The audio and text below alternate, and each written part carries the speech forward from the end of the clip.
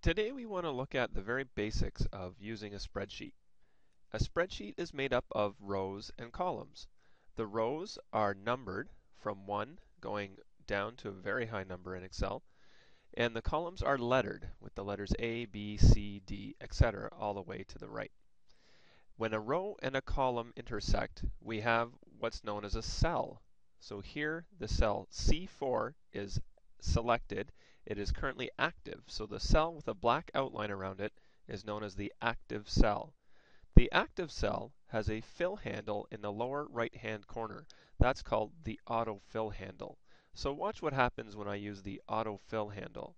I have the numbers from 1 to 10 here, and I was able to generate those numbers very quickly by using the autofill handle. I have the numbers 1 and 2 already typed in, and I'm going to select both cells by clicking and dragging with the left mouse button.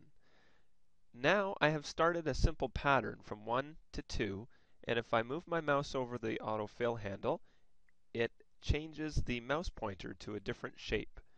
So now when I click and drag with the autofill handle, you can see that it will automatically place the numbers up to 10 inside the selected range. When I move over to the uh, months at the top of the screen, I also am able to fill in automatically the different months of the year. And so there are a number of different series that Excel can automatically fill in for you. Now, if I select a single number and I try using the autofill handle, you'll see that it just copies the number across. So that's going to become pretty important. That's a really neat feature that we're going to use very shortly. But for now, I'm going to undo that by clicking the undo button, or I could also click Control Z, and that was autofill. So I'll undo the autofill. And I'll just take a quick moment to explain the two other major features of the Excel spreadsheet. In this area here, we'll see the name box. So right now it says B3, and in the next video, you will see how to name cells using the name box.